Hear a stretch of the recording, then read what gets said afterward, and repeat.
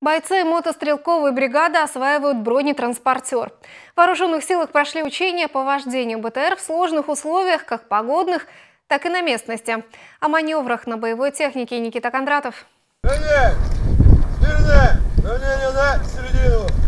На бронетранспортере с ветерком и в снег, и в грязь. После краткого инструктажа команда по машинам.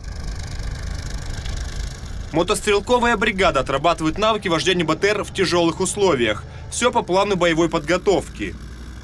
Первое – это инструктаж по мерам безопасности, ознакомление с маршрутом на макете местности.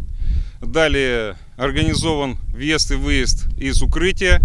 И еще одна учебная точка – это прохождение конкретно по маршруту с препятствиями.